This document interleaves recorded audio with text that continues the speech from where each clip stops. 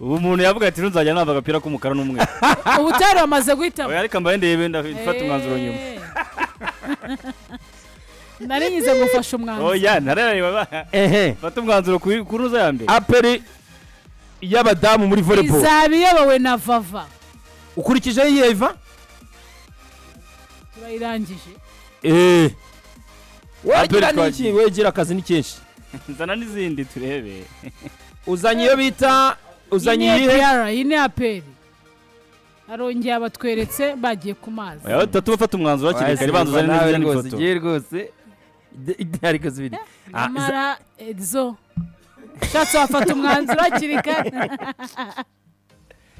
Ariko ivuye bwo kushaka kunsindira pe wazanye n'andi mafoto zana andi mafoto ukurikijeho iyihe iva eee sana. Sana turebe rwanda reveni yego. Aha ngaha ubanza. kutavuga? Azana indi turebe aha rwanda reveni aha rwanda reveni yego. Ah, iyi ni rwanda reveni yego. Ni abafatanyabikorwa bacu. Eee rwanda reveni otoriti Eh, ni iki ni iki? Gira icyo uvuga ngo kuri rogo y'ikipe n'amabara ni sawa Eh, aha ukurikijeho iyihe wazanye polisi iya gatatu ni iyi ni polisi urebye nawe banagukubita Iyi ni ikipe- iyi ni ikipe. None se polisi irimo? Iyi ni ikipe y'igipolisi none se ruhango na ke? Oya ni mu bagabo mu kepura ni mu bagabo. Eh, Eh. sawa? Eh, ruhango wayizanye nimero karindwi ko nta kintu mumuvugaho. Nimero? Karindwi ariko we wambaye na rinete. Yego njye ndi kureba uri da kwibona kabiri buretse gato buretse gato nimero karindwi eh. yego ni iki? shyiraho nimero karindwi turebe wenyine turebe. Ariko nabibonye ndaza mu bantu bacunga umutekano nabibonye. Eh oya ni benshi none barawucunga. Barimo arakererwa. Iva wiriwe. Tebutsa tebutsa. Iva banguka Police women volleyball club. Yego. Number 7 Mgongoni. Ni sawa? Yasubizo bita edzo. Edzo kutavuga? Reka zose zirangiye kumva tumwanzuro nyuma. Ubu nshaka kumfatisha umwanzuro hakiri kare. Sawa. Aha. Ruhango volleyball club. Sawa kabisa. Aba nabo mu ruhango. Abacyari abana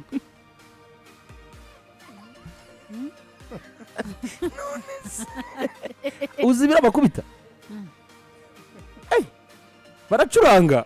Eh. Eh, turiya turi kumwe muri ekore mbere hejuru eh, iyi mikino ikabacika. Aha nubwo wahawe ni ni ukunyagwa zigaye ukujyagwa zigaha aha ni mu bari n'abategarugori amakipe yose azakina playoffs murayabonye. Ni zose zarangiye. Aha. Twagiye mu bagabo. Nzamfa na aperi namaze kubona nzahamagara wahisemo nzamfa na aperi mu bagabo. Ndashaka agapira hejuru agapira k'umukara n'umweru. hano akanga bahekeranya ariko bituma murebye areba ibyo ashaka kureba.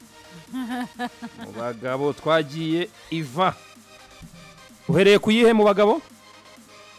Iya mbere. Mbere ni iyihe?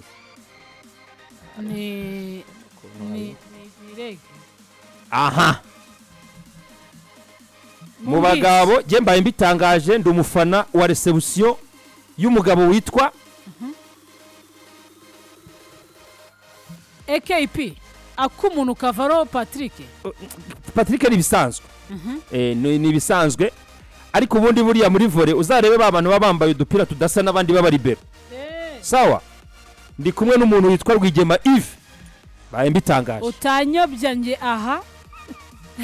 Ndi kumwe na ak'umuntu Patrick kavaro byari biri kumbabaza. Nari nzi ko akiri muri gisagara. Kumva ari gutera muri rege Eh. yagiye muri iyi rege niyo nzaba ndi gufana ari muri reg iyi niyo nzafana ku munsi w'ejo. Ariko njye mu bagabo njye sinirwa ngorana polisi irimo? Eh. ese polisi no- noherereje nde? Mm. Abagabo sinjya ngorana ubwo nari polisi iva noherereje nde Kazana none se tayizoni ari gushyira heva eh, nguyu. Tyson ni nguyu muri na kane. muri reg muri rege nimero cumi n'enye. Niyo gisubizo. Niyo gisubizo. Eh, iyi kipe ni ibintu byose. Seyiva nohereje he? Ko nzi ko nohereje. Ibyo mu bintu byanshanze Arega Mm. arega ngo ushake zarigaragaje zari insinga. Ishake ngo zari insinga. Eh, uri aha Eh. iyi ni ikipe ya polisi. Nta ni- si nta bintu byinshi. Uyu munyabrezil wambaye nimero icumi. Mm. Mm. niba mutaherukaga ikintu cyitwa serivisi ya nyayo y'umuntu ufite ukuboko kuremereye koko. Mace ntizagucike. Arakubita ibintu bigahubangana. E e e e e e Ikipe ikomeye. iyi kipe irakomeye ikipe y'abapolisi. Ikipe ya polisi volleyball club irakomeye. N'iki byose. Eh. Eh, ni ntuzi uri kuyobora eh ni yitwa nde? Uyu nguyu yahoze ayobora Fred. abasportifu ya. Uyu mutoza yambaye ntuze y'ubukapiteni uvuga mu bukapiteni wayoboye aba bakinnyi muri muri komite eh ni we ni n'ubu sa nta kinase muri nimero kane. Eh umutoza wabo ni Fred. Dore nguyu. Ari umupaseri ukomeye mu myaka Eh, ishize uriya wa marinete Eh, Ah. eh, ni we mutoza wabo. Niwe head coach. Ni we mutoza mukuru. Wow. Eh n'umutoza ikipe ya polisi. Abapolisi banabwiye ko turi kumwe cyane. Ukurikijeho iyihe? Epi? Ya gatatu. Epi. Yaza kuyitsinda. Biba bigusaba kuba wipanze. Hmm? gutsinda pe? Bagira abana. Bigusaba kuba wipanze. Mbaye mbibabwiye ndi inyuma ya gatsinzi rwose. None se uzafana abakinnyi Njye mfana iki? vore. Ntabwo Eh. uratangiye rero Njye mfana hari ahantu ugomba kuzamuka ubigaragaraho twahisemo. Muz'abagore nzaba ari kumwe na ape ndi inyuma ya gatsinzi. Muri aperi y'abagabo iz'abagore zirangira mpindura nshyiramo ibindi tuzaba tureba ni n'iki gatsinzi ku munsi w'ejo udakubise umuntu ngo ahubangane. Nubwo nawe ndakubonye ntumbonye. Ikiro cya gigu- gihubanganya umuntu. Umuntu akagwa bakazana amazi urabona umuntu ari gusaba amazi muri vore Ari gusaba amazi? Eh, gatsinzi ejo umuntu adasabye amazi urabumbabaje? Nzaba rero ahubwo tubwire isaha zana. Kepura siyisigaye se? Kepura mugabo. Bagabo ngiyi iki kipe ya nyirimana? Eh. eh. None se umunyamerika yaragarutse harahari ariko se ariko nawe ntujya woroshya Ya, ya, ya, ntujya ya. woroshya amacu nkanda umufana ukomeye cyane wo bita iva amahoro paseri nimero ya mbere mu rwanda abona uzarwara umutima zose uzazifana ubishoboye nta kibazo mfite polisi ntitubonyemo umuntu uzafana tu. ko nafanaga gisagara ufiteho bikaba- umukinnyi ape ufiteho umukinnyi na kepura ufiteho umukinnyi rege ndi kumwe na rwigema kepura ndi kumwe na iva amahoro epi ndi kumwe na gatsinzi na polisi ishaka mu mwere kugira polisi ndi kubona madison ngewe ebana ni broke zose jana ijana ku ijana full time. Mm. broke zose ni umusore azamuka nka kikongo. Cyakoze madison. Eh, ngibyo ni ku munsi w'ejo rero ubwo abakunzi ba volleyball tutabagira. amasaha se tuyi- baba aba match ya mbere ni saa mbiri. Abari n'abategarugori. Za mu gitondo? Saa mbiri za z'ijoro.